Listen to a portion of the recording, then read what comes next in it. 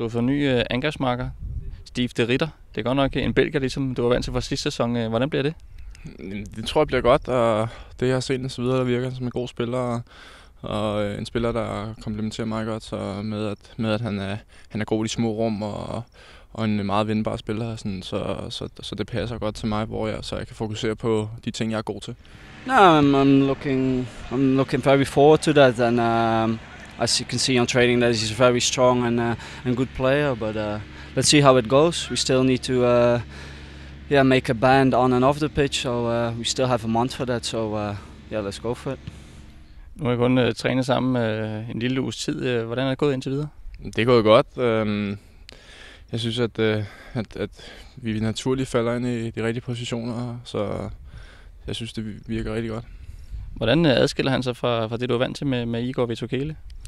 Jamen, han er lidt mere en mellemrumspiller øh, og, og en lidt øh, teknisk stærkere spiller, end Igor var. Til gengæld har, havde Igor noget, noget mere fysik, øh, men, øh, men, men det må jeg så bidrage med og, og, i forhold til, at øh, det har vi mistet lidt med Igor.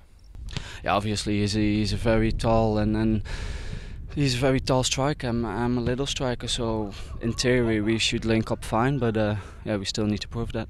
Hvor lang tid tror du, det var, før det der samarbejde kommer til at sidde lige i skabet? Det tror, håber jeg ikke. Det, jeg håber ikke, det kommer til at gå, der går så lang tid.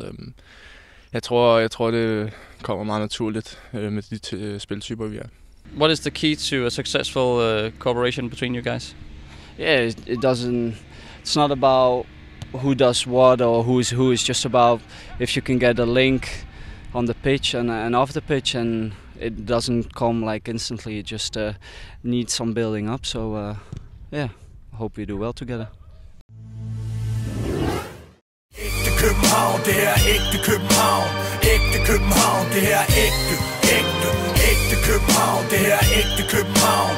Ægte København, det er KBH Programmet præsenteres af Unibet, sportsbetting på mobilen.